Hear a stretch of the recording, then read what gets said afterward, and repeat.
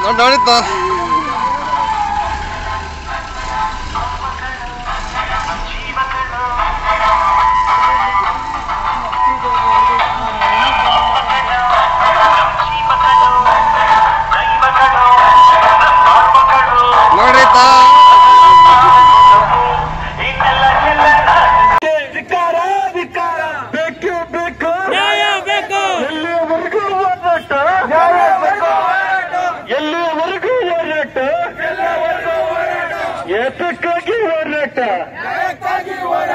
ಏತಕ್ಕಾಗಿ ಹೋರಾಟ.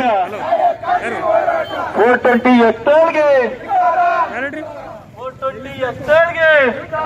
ಯಾವಂಜಿ ಕನ್ನಡ ಪರ ಹೋರಾಟಗಾರರಿಗೆ ಬಹಳ ಹಗುರವಾಗಿ